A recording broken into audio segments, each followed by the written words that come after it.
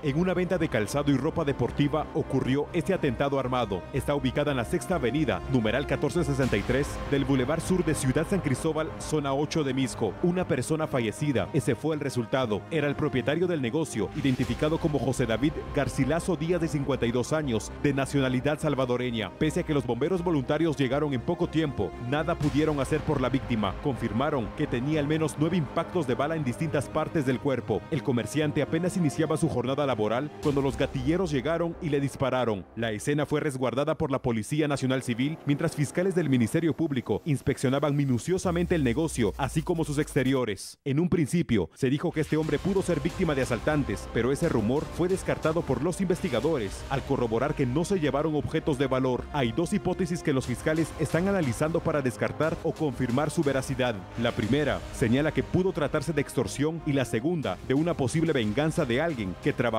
en su negocio.